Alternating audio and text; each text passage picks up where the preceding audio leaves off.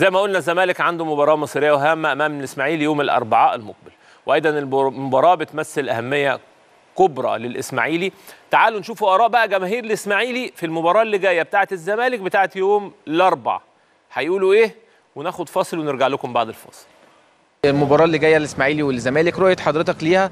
وما بعد تعادل بقى الزمالك أمام الجونة شايف الدوري رايح فين؟ هو الفرص الاهلي أكتر. إن الزمالك ضيع فرص كتير. وطول ما بيضيع فرص حتى اللي جاي هيبقى متوتر في توتر وفي عدم تركيز وفي عصبية زي ما شفناها النهارده.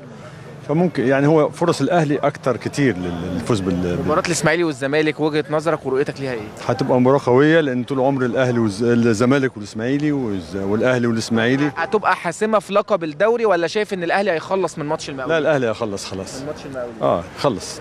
لأن في فرق تقريبا أربع نقط دلوقتي مش كده؟ آه الفرق مستمر. آه ففرص الأهلي أكبر حتى لو فاز على الإسماعيلي. ماتش الزمالك والإسماعيلي يعتبر تحصيل حاصل.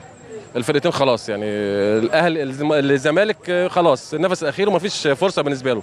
حتى لو كسب الإسماعيلي برده ما خلاص الأهلي حسم الدوري وكالعادة يعني هو كل سنة. خلص شايف في ماتش لا الاهلي خلاص بنسبة 99 خلاص الدوري انتهى. انتهى مبروك للاهلي على الدوري و...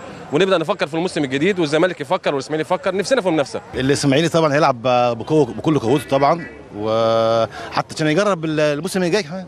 بس.